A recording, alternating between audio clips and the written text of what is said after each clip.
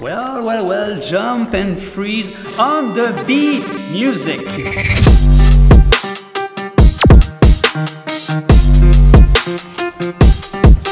ah, this so much.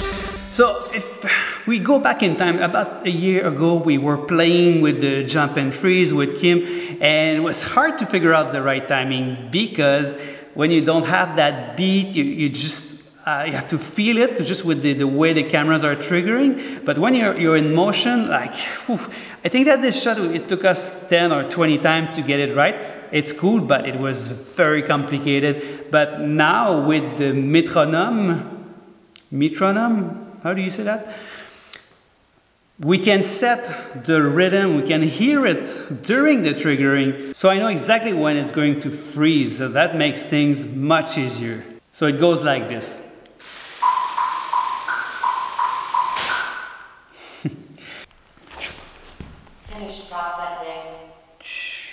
So I did a few shots and uh, I got most of them. It's so easy when you know exactly when you have to be uh, floating to get frozen in, in time.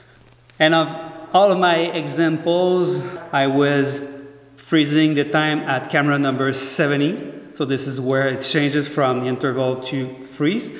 The so the 70 first cameras were triggering with a 40 millisecond interval, and then the last ones at zero, so freezing, totally freezing, uh, just so I can float.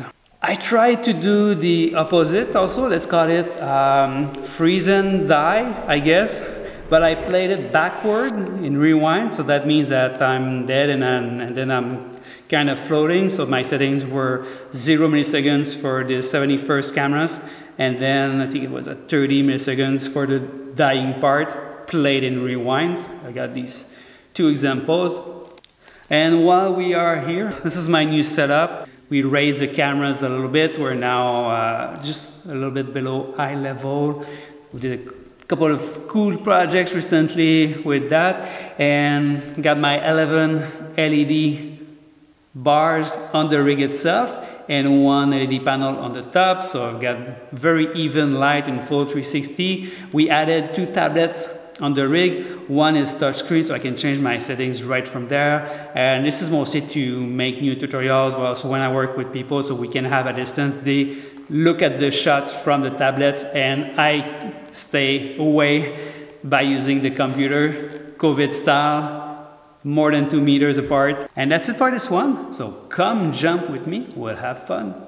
See you later, bye.